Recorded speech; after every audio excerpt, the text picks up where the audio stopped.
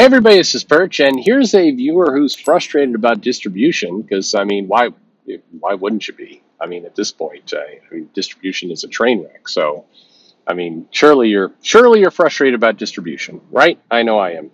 Anyway, here's the mail. It says, "Hey Perch, after decades, I have recently started reading comics again, and what a fucking backwards proposition buying new issues and tracking down back, back issues is."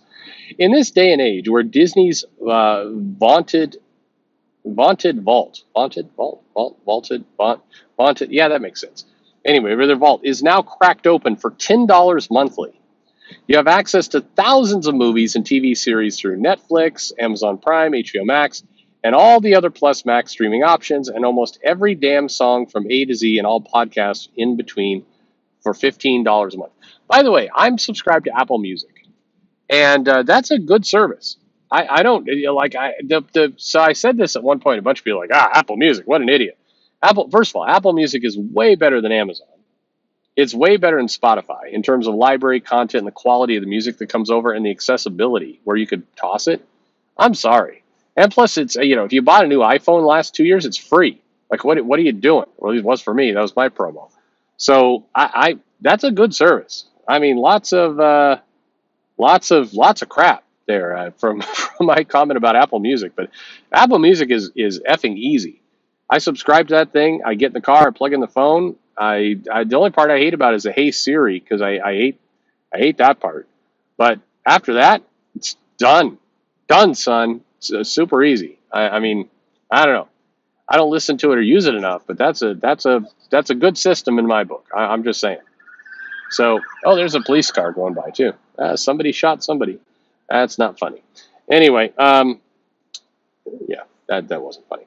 Anyway, so sorry. So we go. Let's let's do, let's get away from that horribly inappropriate comment and uh, get to. Um, uh, okay, so podcast video. The prospect of finding and purchasing a physical item is a tough sell. I may be in the minority, but the majority of my comic reading comes from Marvel, DC, and Comixology apps. I may be a fucking idiot, and you have probably covered this topic before, but why aren't the publishers kneecapping themselves by not fully embracing digital. You often talk about other avenues for comic sales, and this one seems like a no brainer. For people who prefer physical, have a code for a digital copy. Does Marvel do this already? They did, and then they let it go. Um, and open up easier channels to purchase digitally, skipping the not so seamless iPhone, iPad, Amazon purchases. Offer tiers of subscription from the Marvel and DC app that give me day and date access to this week's new comics any of another thousand fucking easy ideas out there. Thanks to Answer Perch and love the content. I'm with you. I mean, it's just dumb. And every time we talk about this topic, people come in and go, oh, I'm not buying digital. I like physical. Good. Keep buying physical. No one's stopping you. Keep buying physical. But for the love of God, can you not have a competent digital strategy? Like, even the people who love physical comics have to look at what you're doing and just point and laugh at your your ignorance and, and dumbassery for not having a remotely competent digital approach. Like, look, I, I mean, I, I've joked about it before. The Shonen Jump app is magic. It's a great app and it's cheap and it's easy and it's you can find stuff on it and it's like the search works and it's like it, it, it's good so if you're, you know, Marvel and DC and you're in the digital department, like I feel like you you need like those people need to brought, be brought into an office somewhere and they they just need to be shouted at for like a, an hour of like how in the hell like this isn't even invent something. This is hey, uh, it, it's been invented already. It's done. Copy it. Swallow your pride and just copy copy it uh, because you're you're this is this is asinine at this point that it's this bad. There's no way it should be this bad. Um, I, I I just it it blows my mind that it's uh, it's so screwed up at the publishers. Digital is should be a layup at this point. I think there's a lot of clever things, smart things, innovative things you can do at digital. I'm not asking for any of that. I'm asking for basic competence. Basic. Just do what others are already doing well. Like you know, it, and it's so it's it's ludicrous. This is one of those areas where we can talk about whether you like manga or you like Western comics better and the quality. You could we can have those those debates about taste all day long. But when the Shonen app is like rolling out an update, and it's like in this update you can, you know, voice search your manga. It's like we're not you're not even playing the same game. At this point, it is it is like a pro football team playing like a bunch of drunk college students who know pickleball. That is the that's the equivalent of the matchup right now. It's ridiculous. Like uh, Marvel and DC should fire everyone in that team. Everyone. I'm sure there's wonderful people out there, and you're very nice, and I, I guarantee I'll hear from one of you now. But they should fire that division, and whoever's leading it. Ideally, start with who's ever leading it, and then fire the people who can't cope and just hire a tiny development team to just copy what's going on there because it is absolutely ridiculous that you cannot this is easy this is uh, you know being able to pee standing up without splashing piss all over the walls easy like if you can't accomplish that you're not a man you don't know how to use your junk and and go home yes I, I every now and then uh, I Sorry. Every now and then people will come in the comments and I see these fights break out between people. And somebody's like, well, I'll bet you pee sitting down. Like, look, if you're unable to control your junk and get to pee into the toilet, yes, sit down and pee. Yes. If you're one of those people that dribbles pee all over everything, sit down. You do not, you, you, are, you have failed as a man. You don't know how to use your junk. Sit down. Absolutely. Sit down in shame. You can't figure it out. That's, that's all I'm saying. That's what this feels like. Like this, this the digital strategy from Marvel and DC feels like you are unable to pee in the toilet successfully.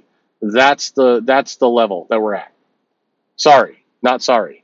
That that I, we can talk all day long about what Danny Lore is up to and all that kind of stuff, but this this is a clear cut case of screw you, you do not deserve a job.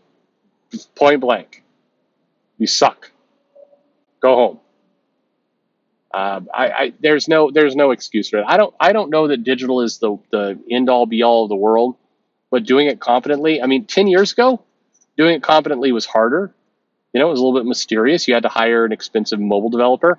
Now, for God's sake, you can go to a college. I I I gave a little speech at a college a couple days ago around technology at uh, TCU. I, I've never been to TCU. I'm I'm going to be real honest right now. I'm not entirely sure what TCU stands for. I'm assuming Texas Christian University. I'm not sure, but it may be.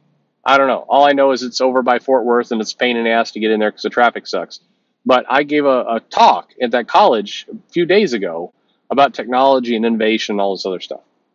And if I'm Marvel in DC, chit, just go to the college and say, we would like some interns for a semester to build this thing for me. You'd get it done for free or nothing, no money, less money than you're spending on milkshakes.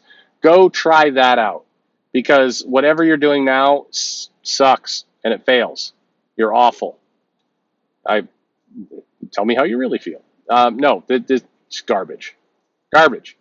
And I, I do think that it is a detriment because if we're to believe that the younger generation, the kids, are going to you know navigate to an iPad or an iPhone and they're not going to go physical, they don't want to go to comic shops, then hey dumbass, make sure you have a good digital app there. Don't not at the expense of the collectors, not at the expense of the people doing printing.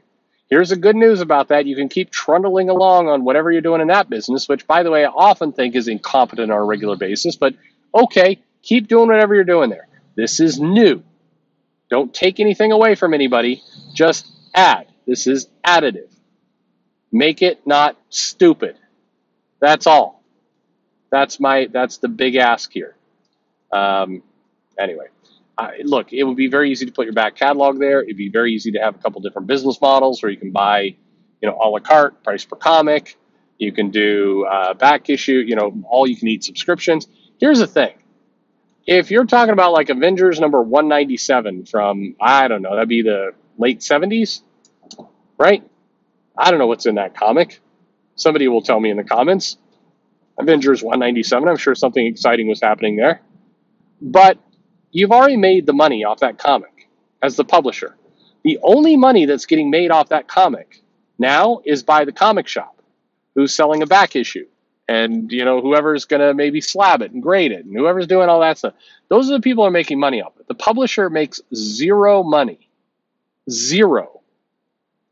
Um, from comics more than you know six months old. No more than that because they can do trade paperbacks and other things but you're you're you're not making any money off that comic so why not make some money by making a competent digital app and selling that thing for a quarter like literally, if right now the big two publishers put out a digital app or Comixology and they sold the comics from the past at their cover price, and why the fuck not?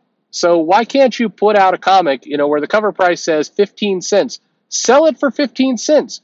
What do you care? You're currently making zero. Zero. And you have no business plan to make anything off of it ever. So sell it at 15 cents. Why not get people all excited? Why not do something like, hey, comics, we're keeping the price on the cover the way it was. So, you know, X-Men by Jim Lee, $1.25. Again, why not? You're not making any money off of it today. You sold it years and years and years ago. The only people making money off of it are the comic shops. And maybe you if you tie it into a trade paperback, but that's a printed copy and you're going to make that money anyway. So why not put it out on digital for that cost. I see these comics go up on Comixology for like $4.99 and the cover price is like 10 cents. And as a consumer, like you're just a greedy bastard at that point. Sell it for 10 cents. It's 10 cents more than the zero you have today. Why not? What are what what are you hurting? Do it. And then maybe just maybe you get that comic into the hands of some people maybe you market your comics toward a mom and you say, hey, remember comics are all innocent back when you were a kid? Remember when you, you got the nostalgia feels for all those comics in the 70s and the 80s that were uh, cost, you know, like 25, 50, 75 cents? Remember those amazing days when uh, the comics cost that much? Do you remember those great feelings you had reading that kind of stuff when you were a kid? Would you like to share that with your kid? Good news, you could share it for the same price that you paid when you were a kid. How awesome is that? Again, if you're Marvel, you're making zero dollars on that book now. You made all your money in the past. You're making nothing now. So why not t- go from the zero you're making now to 50 cents? 50 cents more. 50 cents, they'll fly off the shelves. You could take a chunk of that back issue market. By the way, what I'm saying right now somewhat fucks the comic shops. But as a publisher and for the greater health of the industry, this would be a good thing for everyone.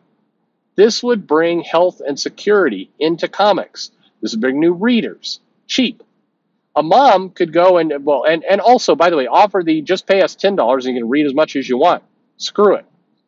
But imagine the great. It's just a great marketing approach. Give us ten dollars to read everything, or buy the comic for what you paid when you were a kid your kid can have the same experience. Bonding. Isn't bonding nice? That's what you could have. Go for it. Do it. By the way, I'm just some jackass who's slightly loaded driving around in a car giving this advice.